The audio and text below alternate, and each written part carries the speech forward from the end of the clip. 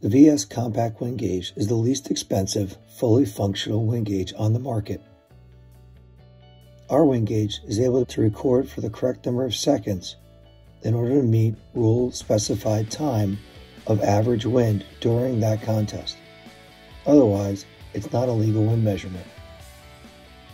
Other wind gauges also are not able to measure the wind in both directions. And no measuring required. Our hassle-free tripod, when fully extended, goes right to 4 feet. So you can spend less money on a cheap wind gauge that doesn't really work, or you can spend more money on a wind gauge that does the exact same thing. But dollar for dollar, the best wind gauge on the market is the VS Compact Wind Gauge.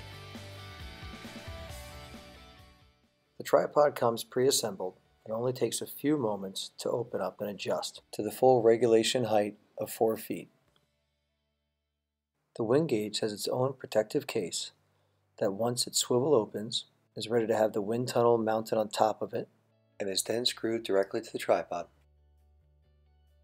For each event, there are specific requirements as to when the wind gauge must begin recording and how long it must record the wind readings for. There are three settings on the device allowing you to record the wind measurements for 5 seconds, 10 seconds, and 13 seconds.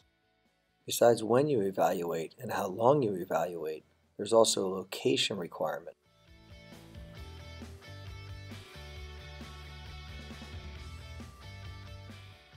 The meet director will want to print extra heat sheets so that wind readings can be recorded for each athlete during each effort.